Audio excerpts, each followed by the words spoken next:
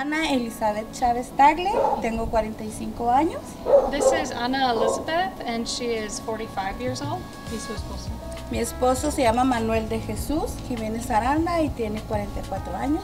And her husband is working right now. His name is Jesus. Uh, sorry, Manuel de Jesus, and he's 44 years old. Mi hijo, Sí, me llamo Manuel Eduardo Chávez Tagle y tengo 22 años. And this is Manuel, their son, and he is 22 years old.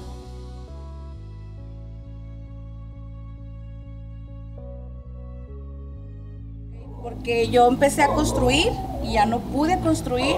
Quiero una recámara para mi hijo. Nada más tengo dos cuartos y mi hijo necesita su privacidad para estar solo, para sus clases. Yo perdí mi trabajo porque me dio COVID y me quedó secuela en un pulmón y dejé de trabajar y el único que trabaja es mi esposo.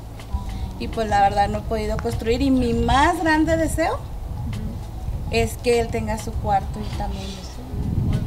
So she said they need a home because she started building a new home uh, for their own, but they just couldn't finish it. She said also she had COVID and had lung problems, so she can't work anymore. Her husband is the one who's able to work. And she said they just have a two home room right now, and their son, who's grown, needs his own privacy so that he can take classes also. Um, so he needs his own space.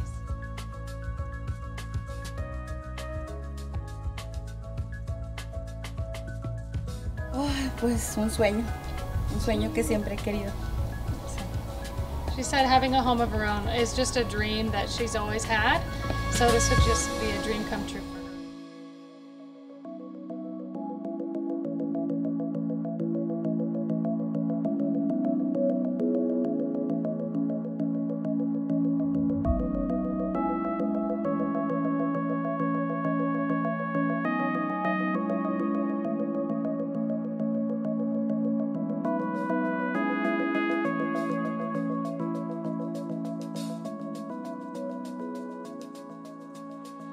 Soy el pastor de la tercera iglesia del Nazareno aquí en Ciudad Juárez, Chihuahua. This is Pastor Gideon Solis, and he is the pastor of Third Nazarene Church here in Ciudad Juarez.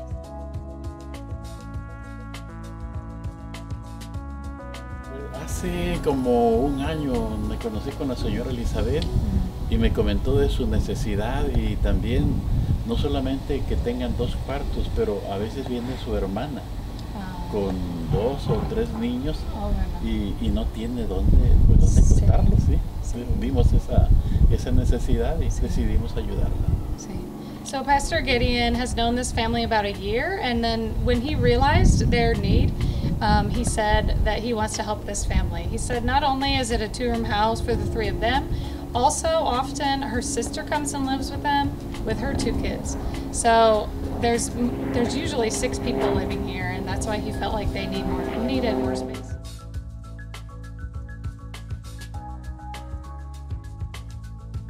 Bueno, yo espero que la señora, su esposo, su hijo y también su hermana y sus niños, sobrinos, ah, vayan, asistan a la iglesia. Es, es mi intención. So his hope is that this family, all three of them, plus the sister and the kids, so all six of them, he hopes will come to church and know Christ as their Savior.